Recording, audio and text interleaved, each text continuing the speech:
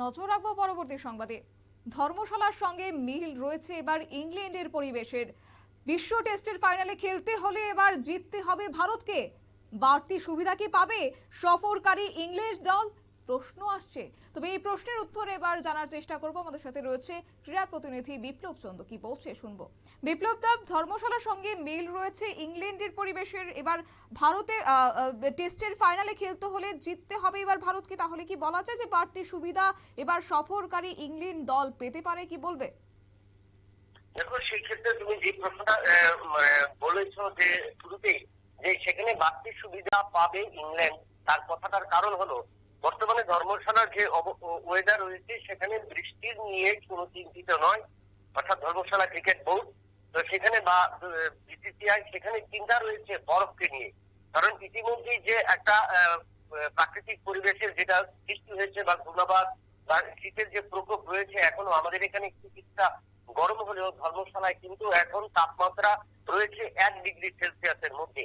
এবং এবং আগামী দু তিন দিন অর্থাৎ সাতই মার্চ থেকে শুরু হবে ইংল্যান্ড এবং ভারতের মধ্যে পঞ্চম টেস্ট এবং সেই সময়ে যে আবহাওয়ার দপ্তর বা আবহাওয়ার পূর্বাভাস যেটা বলা হয়েছে যে সেখানে মাইনাস চার ডিগ্রি টেম্পারেচার থাকতে পারে।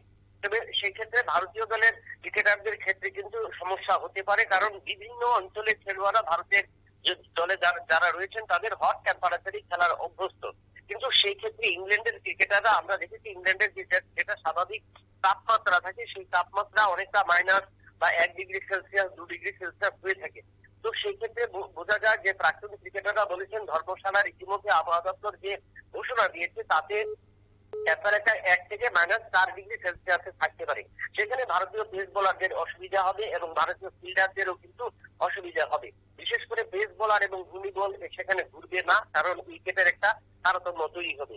এবং সেই জায়গায় কিন্তু বাড়তি এনার্জি পাবে টেম্পারেচারে সবচেয়ে বেশি এনার্জি পাবে ইংল্যান্ড দল। কারণ তারা সেই টেম্পারেচারে তাদের দেশে সেই টেম্পারেচারে খেলে তারা অভ্যস্ত। তার পাশাপাশি ওই উইকেটে কীভাবে বল করতে হয় এবং বল কতটা সুইং করবে, সেক্ষেত্রে কিন্তু তারা সবচেয়ে বেশি অবগত থাকবে এবং সেটা নিয়ে চিন্তিত থাকবে সবচেয়ে বেশি ভারতীয় দল। এবং তার তার পাশাপাশি শতাব্দী তোমাকে জানিয়ে রাখি যে বিশ্বর যে টেস্ট র্যাঙ্কিং বিশ্ব টেস্ট র্যাঙ্কিং এর যে চ্যাম্পিয়নশিপ এই চ্যাম্পিয়নশিপের যদি ফাইনালে খেলতে হয় সেখানে কিন্তু ফাইনালে খেলতে হলে ভারতকে অবশ্যই কিন্তু এই টেস্ট ম্যাচে জয়লাভ করতেই হবে। নিশ্চিত আমরা জানি যে ভারত এই পাঁচ টেস্ট সিরিজের ইতিমধ্যে কিন্তু পকেট বন্দি করে নিয়েছে সিরিজ তিন একে এগিয়ে রয়েছে। সেই জায়গায় যদি ভারতীয় দল হালকা ভাবে নেয়, তাহলে কিন্তু বিশ্ব টেস্ট সিরিজের ফাইনাল খেলা ভারতের পক্ষে কিন্তু অনেকটাই কঠিন হবে।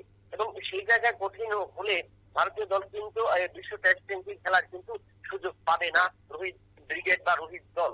তো আমরা মনে করি যে, বা, প্রাক্তন ক্রিকেটাররা যারা মনে করছেন যে, এই পঞ্চম ম্যাচকে কোনোভাবে কিন্তু ঢিলেমি ভাবে নিলে ভারতীয় দলকে কিন্তু পস্তাতে হবে এই ম্যাচে তার পাশাপাশি থাকছে ওয়েদার যেখানে যদি মাইনাস চার ডিগ্রি টেম্পারেচার হয়, সেক্ষেত্রে ভারতীয় দলের ব্যাটসম্যান থেকে শুরু করে বোলার এবং ফিল্ডাররা কিন্তু অনেকটাই কিন্তু স্থিতিশীল বা দমবন্ধ ভাবে খেলতে হবে তাদেরকে, কারণ ঠান্ডার মধ্যে তাদের সেই অভ্যাসে খেলার অভ্যাস নেই। তো, আমরা বলব যে ভারতীয় দলকে আত্মবিশ্বাসের সাথে নিতে হবে এবং পঞ্চম টেস্টে অবশ্যই ধর্মশালার যে টেস্ট সেই টেস্টে ইংল্যান্ডকে পরাস্ত করে বিশ্ব টেস্ট চ্যাম্পিয়নশিপের ফাইনালে খেলার যোগ্যতা অর্জন করতে হবে। একদমই। ধন্যবাদ বিপ্লবদা